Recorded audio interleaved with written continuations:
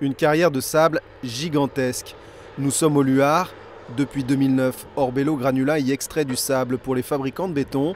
Présente dans le Grand Ouest, cette PME a d'autres sites en Sarthe.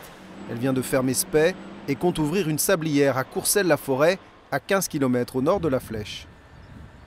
Globalement, oui, ça va ressembler à ça, puisque vous êtes dans un environnement ici boisé. C'est exactement la même configuration qu'ici, sauf que vous avez ici, vous avez une butte, et là-bas, ce sera sur un terrain plus naturel et on va creuser.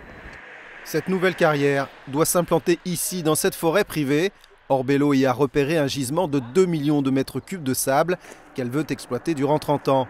Le projet est soumis à enquête publique jusqu'à lundi et provoque l'inquiétude des riverains de Mézeray et de la Fontaine Saint-Martin, dont les premières maisons sont situées à 400 mètres du site.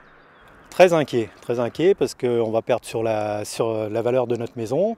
On avait l'intention de partir euh, d'ici quelques années quand je serai en retraite. Euh, bah, aujourd'hui, c'est compromis. Principale crainte des riverains, les poids lourds. Leur trafic doublera avec la sablière, jusqu'à 170 par jour sur cette route. On voit que c'est une route qui n'est quand même pas très large. On a des enfants qui vont à l'école tous les matins, qui vont à pied. Euh, aujourd'hui, c'est vrai qu'ils ne sont pas très nombreux, mais dans les années à venir, euh, ça va s'amplifier. Donc euh, la crainte aujourd'hui, c'est des accidents. C'est le Conseil général qui nous imposera l'aménagement de l'entrée et de la sortie de notre site. Et ensuite, éventuellement, elle nous imposera des, prédispositions sur, la route à avoir, des ralentissements ou etc. au niveau des habitations. La question divise aussi les villages concernés. Comme Mézeray, la Fontaine Saint-Martin va rendre un avis défavorable alors que Courcelles-la-Forêt a accepté le projet.